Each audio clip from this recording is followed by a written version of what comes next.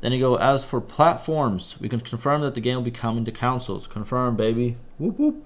You know what I'm saying? However, we are unable to share any further details on this just yet.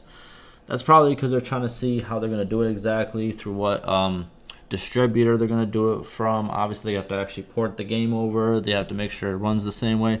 There's, there's a couple stuff that needs to be done, and obviously it's still in early access, so therefore it's kind of like uh, I don't know how exactly that would work.